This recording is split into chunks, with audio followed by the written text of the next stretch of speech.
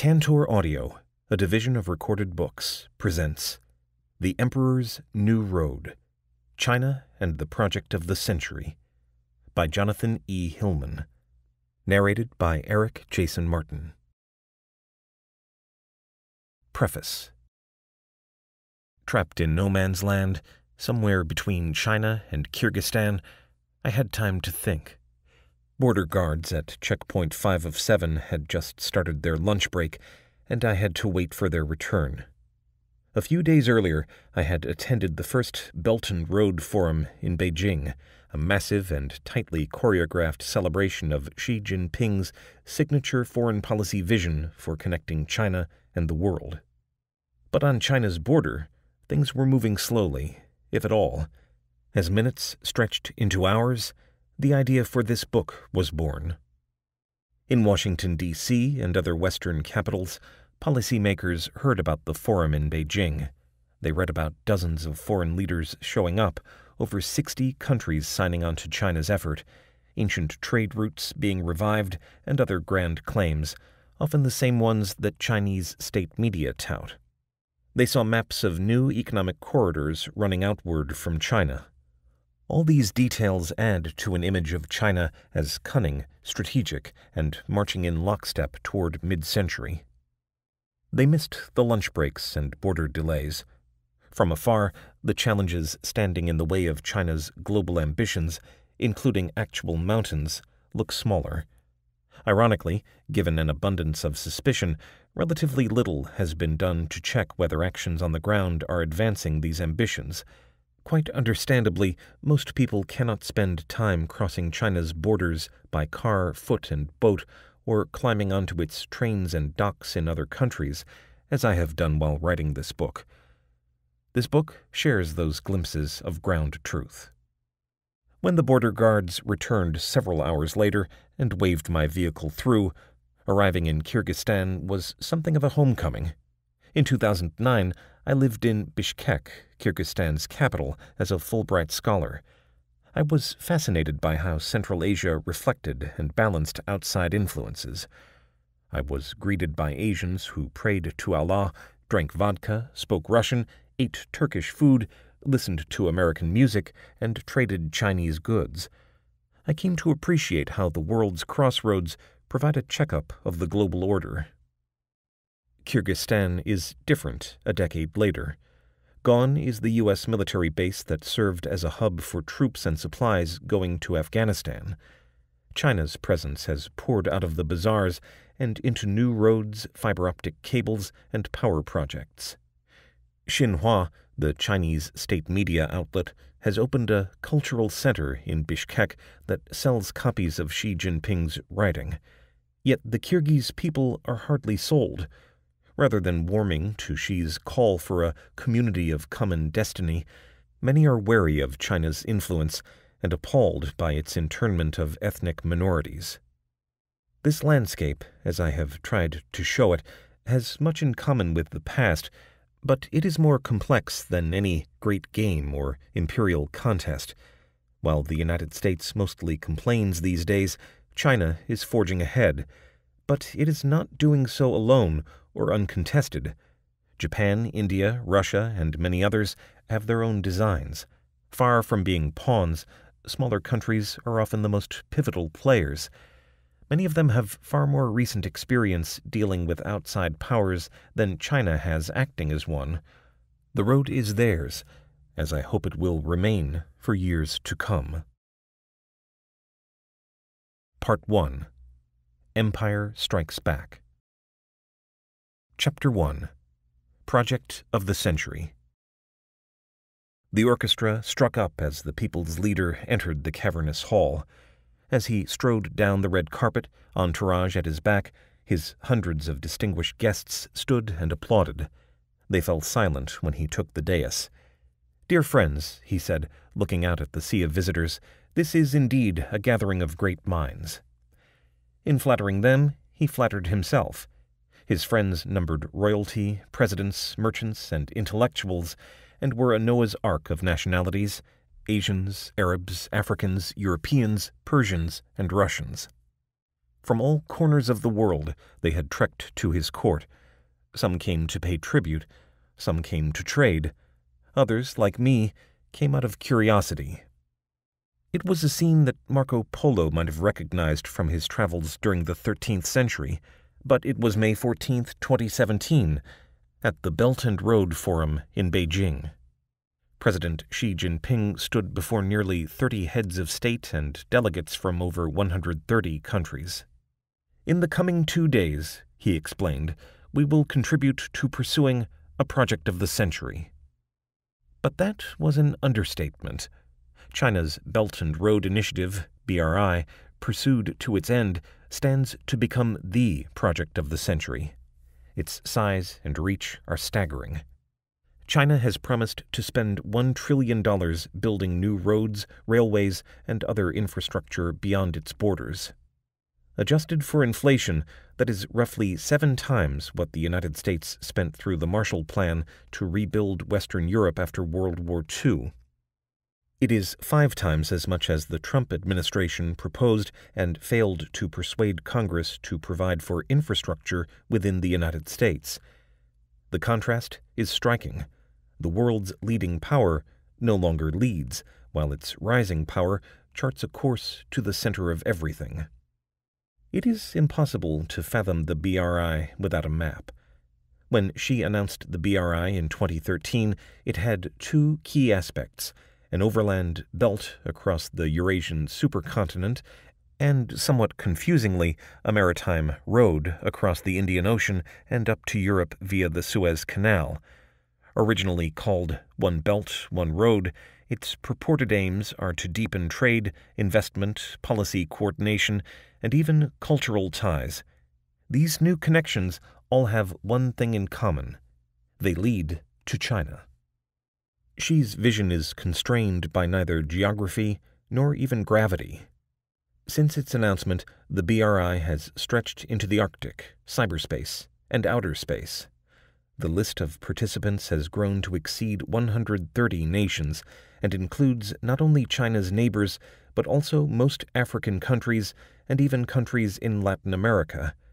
After Governor Jerry Brown of California visited China in June 2017, Chinese state media mischievously speculated that California could join. The same forces that powered China's meteoric rise are now being channeled through the BRI and beyond its borders. Over just a decade, China went from having no high speed railways to having more than the rest of the world combined. Increasingly, Chinese companies challenged those from Japan, Europe, and other advanced economies for projects in world markets. The BRI also provides a runway for China's bloated state owned companies to take off and parachute into new markets. Between 2011 and 2013, China used more cement than the United States required during the entire 20th century, and its ability to build now outstrips its domestic needs. Home to seven of the world's ten largest construction companies, China desperately needs to ensure paychecks for its millions of workers. The BRI is their safety net. The BRI has become more than a policy, it is a brand. With such large amounts of investment available, central and local governments, private firms, and nonprofit organizations are incentivized to repackage their work around the BRI. Over 100 Chinese think tanks are dedicated to studying it. In China, there are Belt and Road fashion shows, music festivals, and art exhibits. Belgrade's annual marathon was added to the Belt and Road Marathon series. This race was different. It does not focus on the competition level, but more on friendship, cultural exchange, and promoting economic growth, an organizer explained. But for all the attention the BRI receives, it remains poorly understood. A major challenge is that the BRI label evades classification. There is no official definition for what qualifies as a BRI project. There are Chinese funded projects in non participant countries that share many of the same characteristics. The BRI was officially launched in 2013, but projects that were started years earlier are often counted. China's lending is opaque, leading observers to piece together bits of information from public sources and keeping many details secret.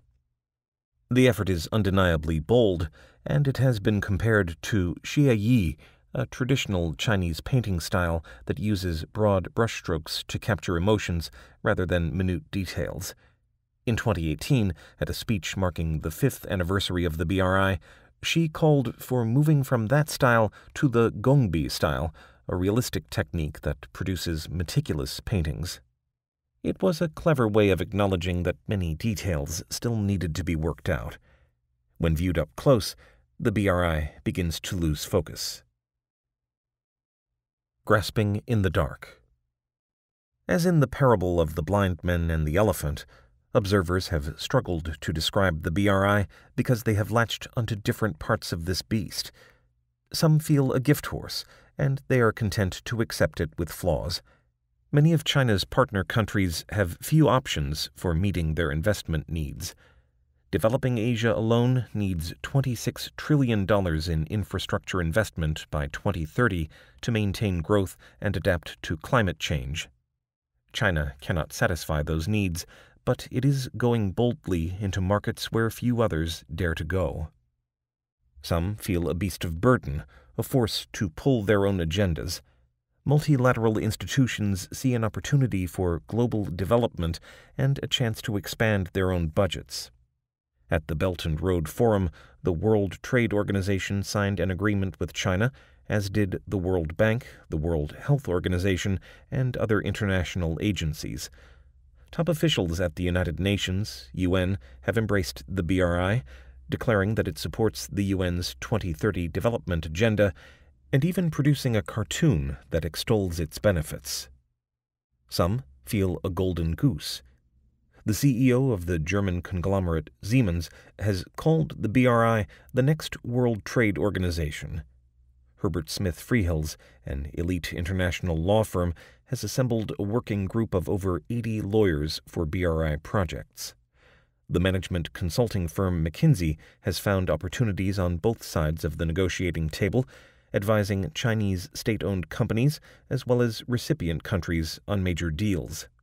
HSBC and other major financial institutions have assembled BRI teams to source deals and make friends in Beijing. Some feel a Trojan horse. When HSBC's official Twitter account asked, What do you think of when you hear the term Belt and Road? it opened the floodgates to a wave of negative responses, which included imperialism, neocolonialism, and China exporting debt, among others. Twitter is full of snark and outrage, but U.S. government warnings about the BRI are not so different. China is diligently building an international network of coercion through predatory economics to expand its sphere of influence, then acting U.S. Secretary of Defense Patrick Shanahan said in 2019, pointing to suspicious port investments in the Indian Ocean. Some sense that the elephant is white Fitch, the ratings agency, was one of the first dissenting voices to suggest that economics might be taking a back seat to politics along the BRI. Chinese banks do not have a track record of allocating resources efficiently at home, especially in relation to infrastructure projects. They are unlikely to have more success overseas, it pointed out. Leaders are eager to announce new projects to reward supporters and cement their legacies. China's massive firms are happy to build them, regardless of their commercial or strategic value. Both sides exploit the lag between opportunity and accountability. When the bill comes due, it will be someone else's problem. There are elements of truth to each of these perspectives, but none fully captures the creature in question. No single perspective can. The BRI is a global initiative, but its contours depend on local context. Some projects help development, others serve China's strategic aims. Some will do both. Other projects will fail outright. If the BRI is a painting, each country is a unique canvas, shaped by geography and colored with its own history and culture. Seeing the BRI as it is requires traveling to the places where it is unfolding, discerning its unique qualities, and imagining what it could become requires an appreciation for what has come before it. The Education of a Rising Power. Weaving together history and field work in 16 countries, this is a book about China outside of China. It provides a middle view that is often missing between contemporary high level views of China's foreign activities and the messier reality on the ground. I focus primarily on the Eurasian supercontinent because it has attracted the majority of Chinese investment and construction spending since the Belt and Road was announced. It is also where most of the world's people and economic output reside. Many hotspots and flagship projects are included, more places surely deserve attention. This book, at its core, is about power. I focus on China's infrastructure projects because they are the carrot for convincing countries to participate, the spoils for China's national champions, and the source of the West's greatest anxieties about the BRI. Every project is a negotiation, and the most contested are windows into society. They reflect the ambitions and flaws of their designers. They're conduits for resources and symbols of prestige. They can reshape relations within and between countries, for better or worse. The painting that emerges in this book is not the one of global goodwill promoted in Beijing, nor the one of strategic cunning perceived in Washington. From sweeping maps to individual investments, relatively little has been done to verify whether China's activities actually match its aspirations. The challenge is understandable. The BRI is opaque and vague by design. But, grasping in the dark, many observers have imposed order where it does not exist. Chinese officials have only a loose grip on the brush, and others have been happy to fill in the details for them. That is changing as China learns, but the difficulties it faces are enormous. Around the world, China is retracing the footsteps of colonial powers and repeating their mistakes. Cleverly, Chinese officials cloak their efforts in Silk Road caravans and other romanticized images of ancient times. But as Chapter 2 argues, there is a more recent period that urges caution. During the great power competition that lasted from the mid 19th century to World War I, Western powers pursued major infrastructure projects to expand their influence at the expense of indigenous people, the environment, and economic stability. As a weaker state, China resisted strategies similar to those it now employs as a rising power. Despite these imperial echoes, this is not a story about China's domination, but its education as a rising power. China's tool of choice, infrastructure, is appealing to developing countries, but incredibly difficult to deliver. Even in the best business environments, most large projects cost more than expected, take longer than expected, and deliver fewer benefits than expected. Infrastructure is often touted as a solution to society's employment and productivity woes, but the reality is that, done poorly, projects destroy more value than they create.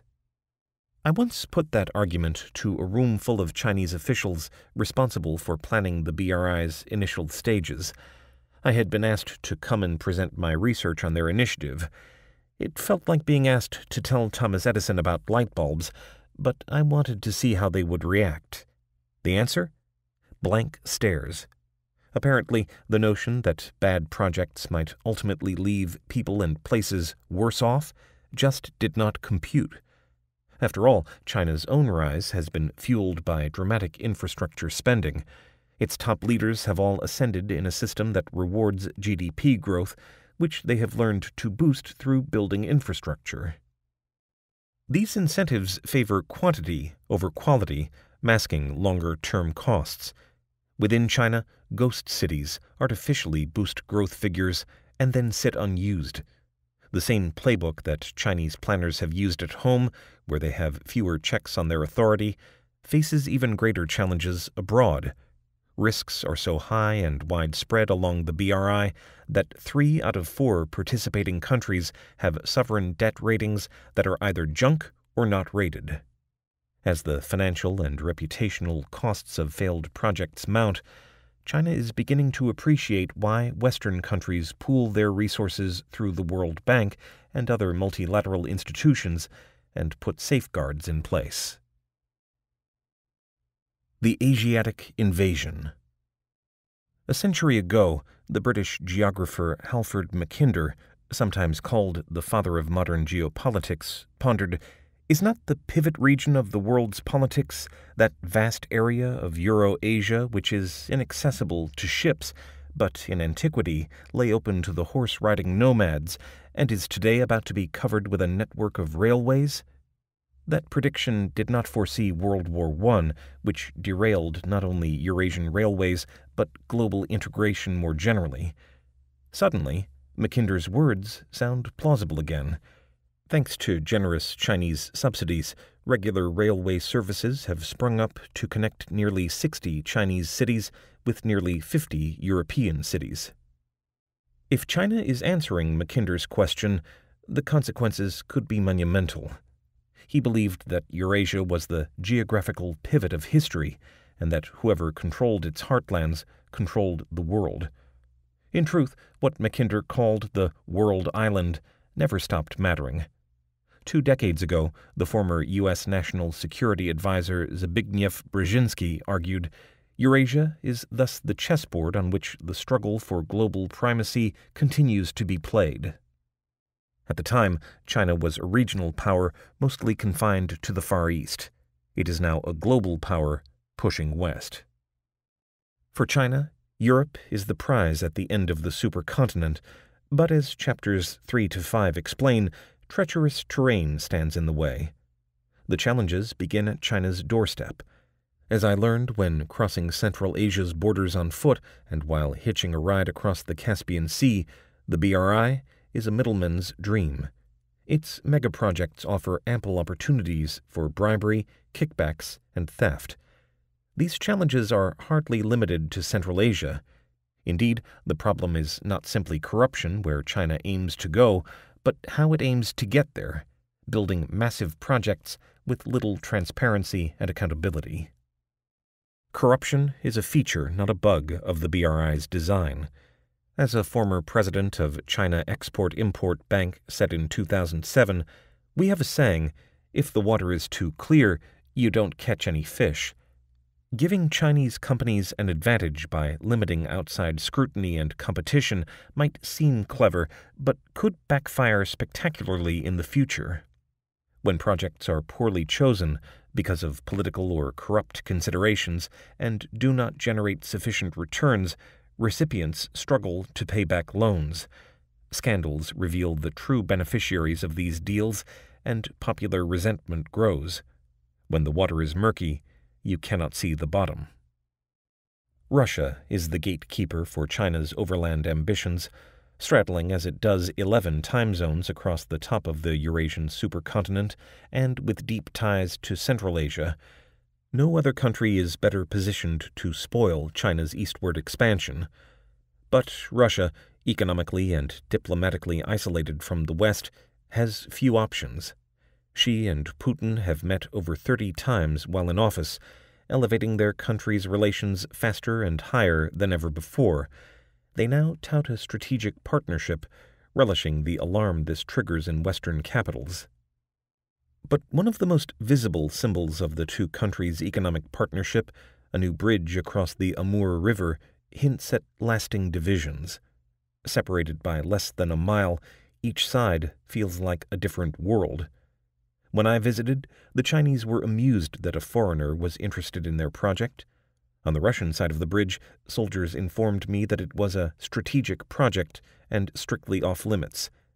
Thanking them, I turned to leave but you are already here, their leader pronounced, turning my sightseeing trip into a day long interrogation. U.S. policymakers could see Russia's insecurities to stoke competition with China, but unintentionally, they have been pushing these historical enemies together. Central and Eastern Europe are the bridgehead to Europe.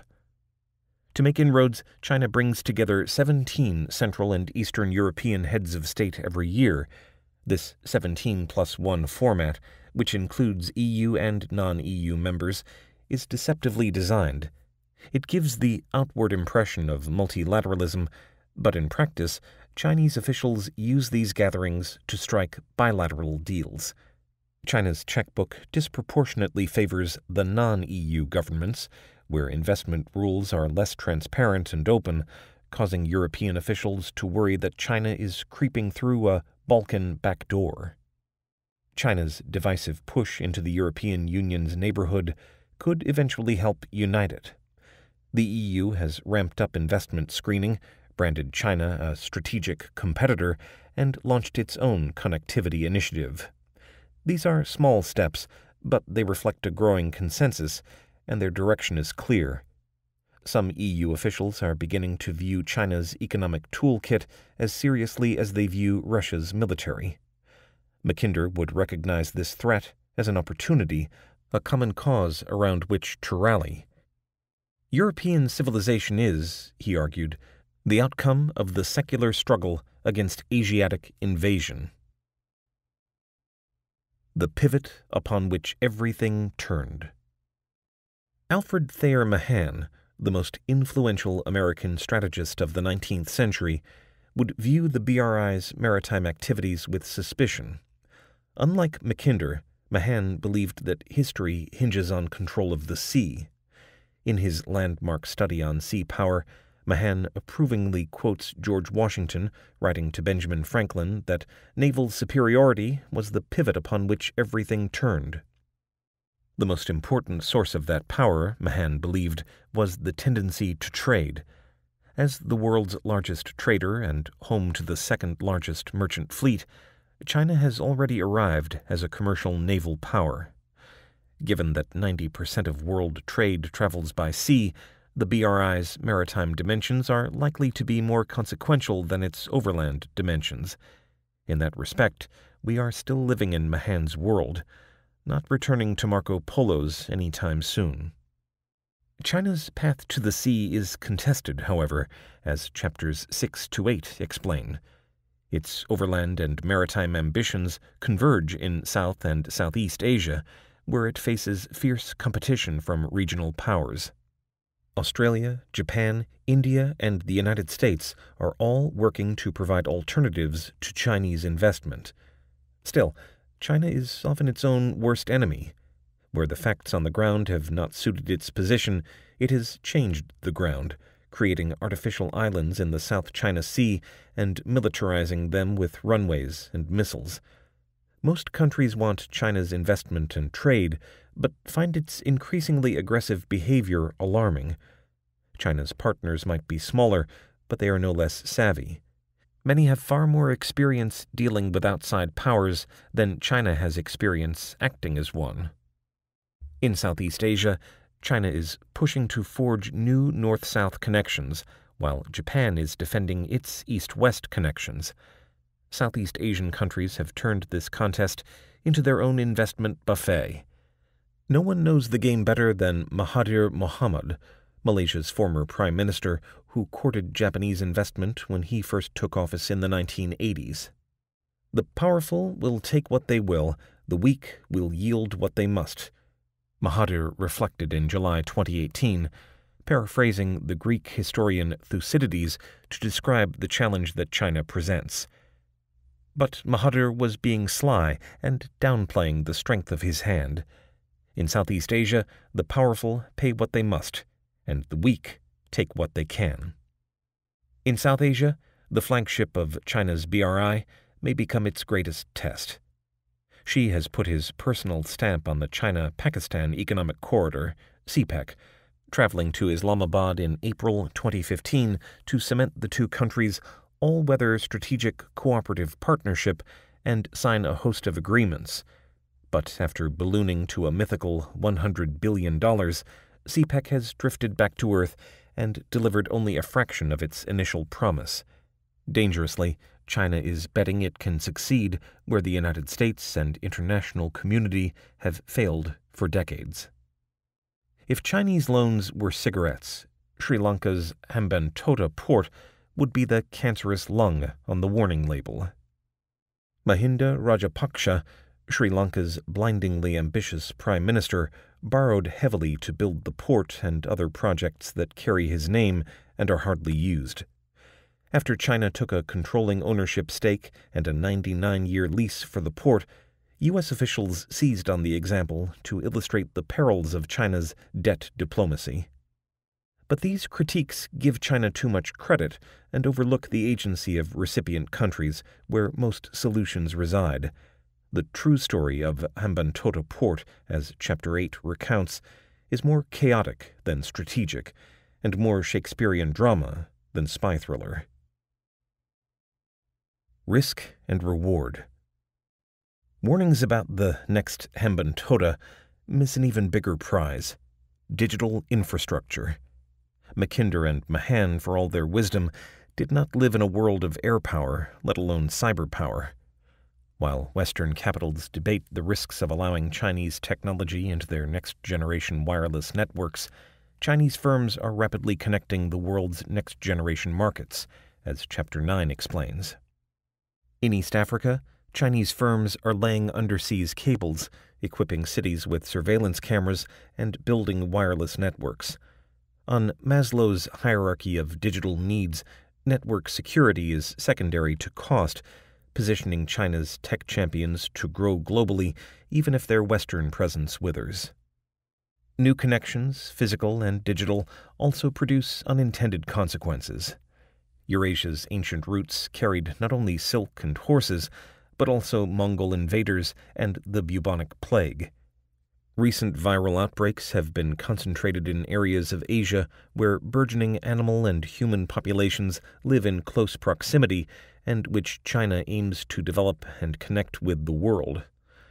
Britain's vast telegraph network carried not only colonial commands, but also nationalists' potent ideas for change, and became the means of challenging and undermining the very empire that created it, as the historian Daniel Headrick writes. Given this certainty of surprise, the BRI's sheer scale demands attention. If China succeeds, it will become the most central node in global flows of goods, data, and people. Chinese technical standards for everything from high speed railway systems to wireless networks will become more widely adopted, as will Chinese preferences for environmental and social safeguards, or the lack thereof. China's military will benefit from expanded global access, and its diplomats will have more levers for influence. China will be stronger to impose its will, and the world will be weaker to resist. Over the longer term, the sum of these changes is not simply a world revised, but a world remade. The Middle Kingdom will have returned. But China is more constrained than its imperial predecessors were, as Chapter 10 explains, and it will struggle to turn Xi's grand vision into reality. China can co opt, coerce, and gradually revise the status quo, one artificial island or highway at a time. But like a vampire at the door, China must be welcomed in by its hosts. By necessity, China's imperialism is incremental and relies on economic means. It is also more vulnerable to scrutiny, and in the coming years, more observers will throw light onto China's opaque practices. In response, China may end up embracing some of the standards it now resists, not out of goodwill, but out of self interest. Ironically, if the BRI is overhauled, Western policymakers might eventually regret that Chinese officials took their advice. A more focused, higher quality effort could turn China from a lender of last resort into a preferred partner. It could spread Chinese influence in more targeted areas, from setting technology standards to swaying foreign capitals, it could limit China's losses.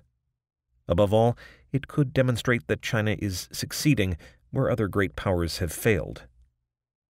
What is already clear is that the BRI is no Marshall Plan. It is much easier to rebuild developed economies, as the United States did in Western Europe after World War II, than to develop economies. The Marshall Plan was a focused effort, concentrated on a narrow set of countries, spanning under five years, and involving a finite set of activities. Since leaving the station, China's BRI has become a gravy train without a conductor. Its fevered pace has already exceeded China's ability to accurately measure, let alone manage, these activities. Corruption and rent seeking are thriving in the chaos. Conceptually, China's BRI is closer to the war on terror, poorly defined, and ever expanding. There is no end in sight. Domestically and internationally, Xi has support to forge ahead. A pledge to pursue the BRI was added to the Chinese Communist Party's constitution in 2017, suggesting that Xi's vision could extend even beyond his lifetime tenure. At the second Belt and Road Forum in 2019, Xi addressed an even larger audience of country representatives and heads of state. Unlike the War on Terror, of course, the BRI speaks more directly to the aspirations of developing countries. With few alternatives for investment, even leaders who shook their fists at the BRI while campaigning for office took the stage in Beijing to applaud it. As long as China has the wallet and the will to build new connections beyond its borders, it will have opportunities to do so the question is whether the BRI will add to China's power or detract from it. That hinges on China having the discipline to choose the right projects and walk away from the wrong ones. In the BRI's first six years, its mission has not merely creeped, but cascaded. Mistakes were surfacing even before the coronavirus pandemic paralyzed the global economy in 2020, exacerbating the BRI's pre existing conditions and revealing how the very connections it aims to strengthen carry both promise and peril. As the following chapters show, the BRI is an imperial project in the rewards that China could reap, as well as in the risks it faces. Before all roads lead to Beijing, Xi may be overreaching. Chapter 2 Imperial Echoes Technology and the Struggle for Control. If you listen closely, history sometimes more than rhymes. The trick is knowing where, or rather when, to put your ear. Quoting famous explorers like Marco Polo and Ibn Battuta and flashing images of camels and desert caravans, Chinese officials have cloaked the BRI in romanticized notions of the Silk Road. The ancient Silk routes set a high watermark for connectivity in their time, but they were primarily a continental phenomenon focused on overland trade, as opposed to a truly global phenomenon where maritime trade dominates, as it has since the 16th century. It is a brilliant marketing device, but in critical respects, politically, economically, and technologically, it is misleading. A more accurate and alarming parallel is the great power competition that lasted from the mid 19th century to World War I, an imperial contest masterfully chronicled by the historian Daniel Headrick. Many of the BRI's key technologies, deep water ports, high speed railways, and fiber optic cables, are direct descendants of technology that Western powers leveraged during this period to expand their access to foreign markets. The costs, unintended consequences, and challenges faced by strong and weak states are telling as well. The world's ruling and rising powers pursued major infrastructure projects to expand their influence at the expense of indigenous people, the environment, and economic stability. As a weaker state, China resisted strategies similar to those it now employs as a rising power. The echoes are loudest on the ground where China is figuratively and sometimes literally retracing the steps of imperial powers.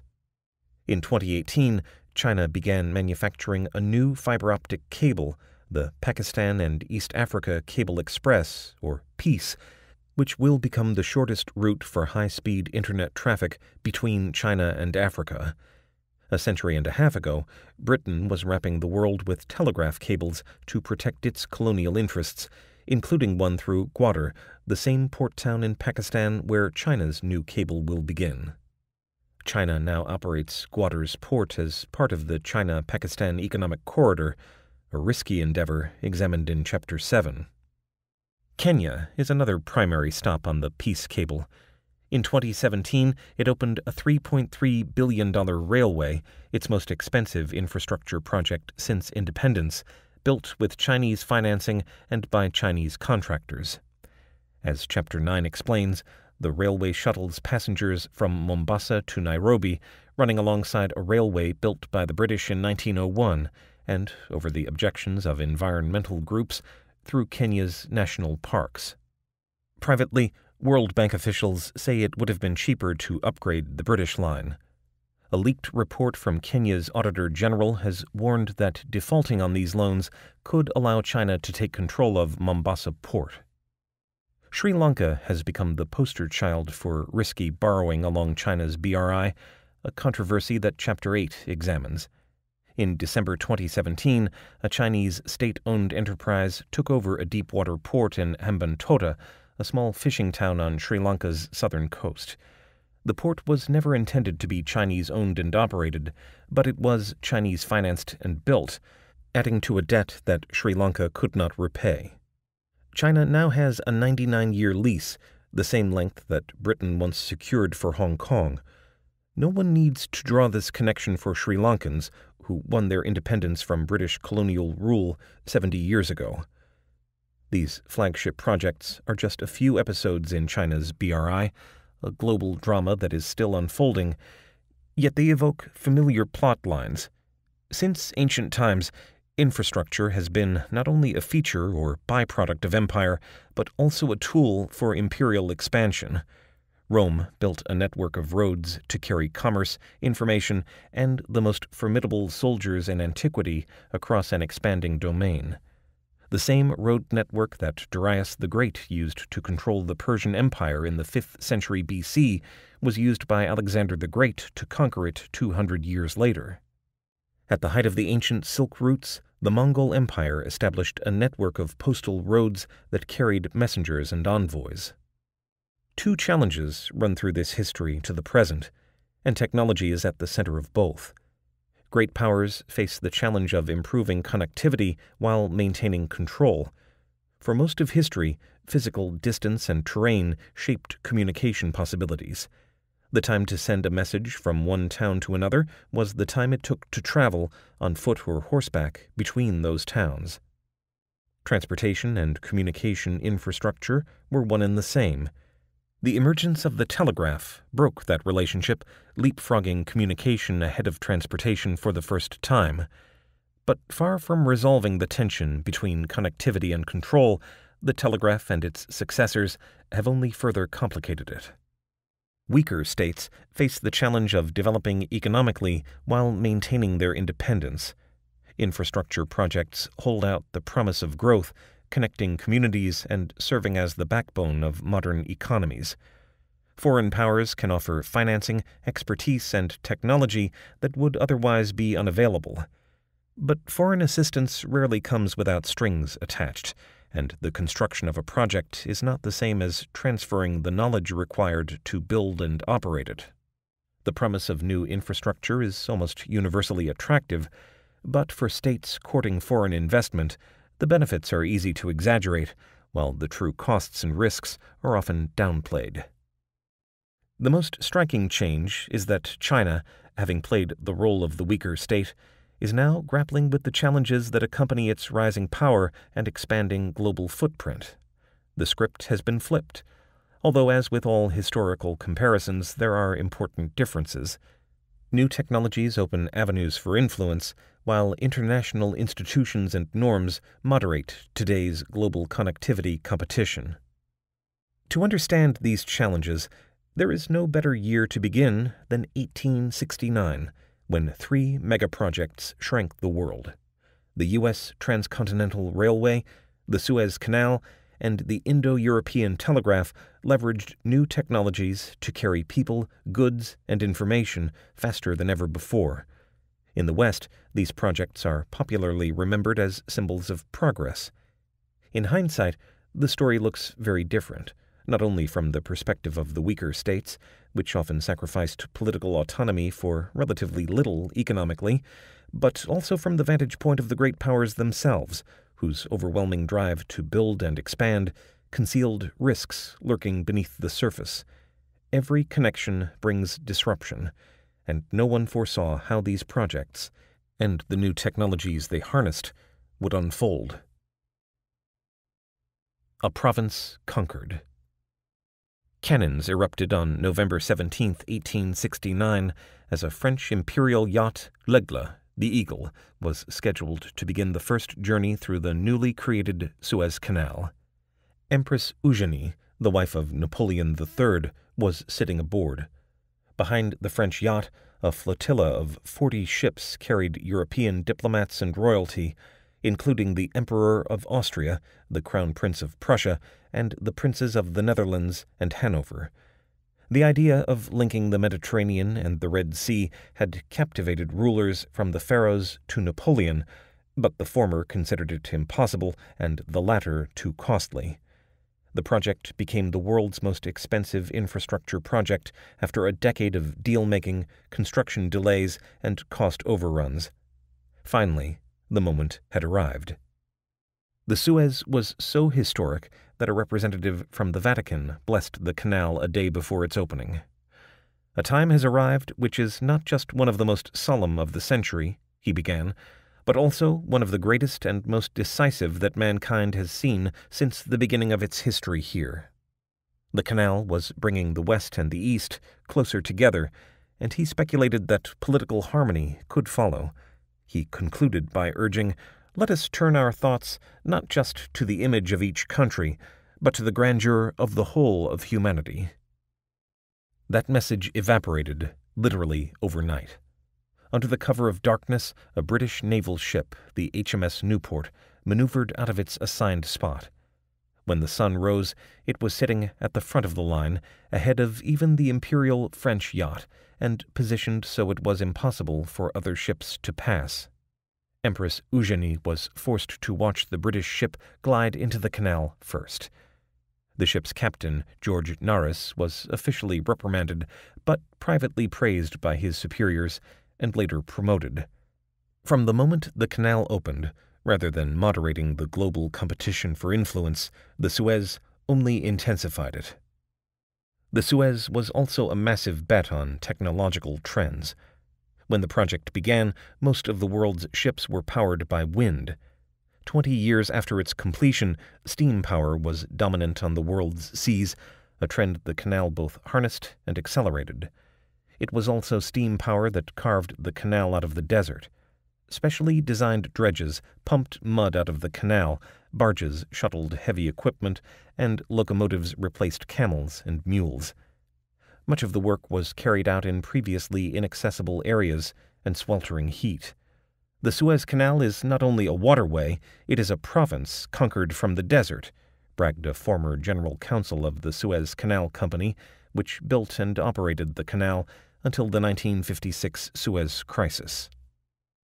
Few projects in history have bent geography as the Suez did. Previously, a ship sailing from Asia to Europe was required to go around the Cape of Good Hope, a distance the canal cut in half. As a correspondent for the New York Times noted, it is to Europe what a new Pacific Railroad is to the United States. The canal was many things a marvel of modern engineering, a giant shortcut for commerce in a flattening world, and a fast lane for European powers to push farther into Asia. The canal brought the world closer together, but it delivered surprisingly little for Egypt, the country at its center. In the 1850s, to finance a modernization push, the Egyptian government ventured deeply and dangerously into international capital markets. If Egypt's rulers were aware of the risks, the outside money was too tempting to refuse, and they basked in the attention that came with announcing new projects. Mohammed Said Pasha, the Khedive of Egypt and Sudan when the canal was started, arranged for Egypt's first loans and spent lavishly. When he died in 1863, the government's debt had risen to five times its tax revenue. His nephew and successor, Ismail Pasha, continued the spending spree, including borrowing $1 million for the canal's opening celebrations. Both Said and Ismail had promised that the canal belonged to Egypt, but the deal to build the canal was designed to extract local value rather than create it. The 99 year concession agreement was slanted toward the Suez Canal Company, which assumed all costs but gained the lion's share of future earnings. Under the deal, Egypt received 15% of the company's annual profits, the company's founders received 10%, and its shareholders received 75%. The route for the canal had not been decided, but the agreement gave the Suez Company expensive land rights and 20,000 unpaid laborers each year. The company was assuming a great risk, pioneering the largest infrastructure project in history, but its powers were vast and the potential rewards were far from equitably shared. Nor was the technology that created the canal meaningfully diffused among the greater Egyptian population. The Suez Company complained that local staff lacked essential skills, and rather than train them, it preferred to recruit workers from Europe. At the canal's blessing, the Vatican representative claimed Egypt destined to reap the first of the fruits of this great labor, will call you the one who brought about her renaissance, and history will reserve a glorious and truly earned page for the Khedive Ismail. Egyptians benefited from improved water systems, but gained only a fraction of the human capital they had been promised. Like we hope you enjoyed this preview. To continue listening to this audiobook on Google Play Books, use the link in the video description.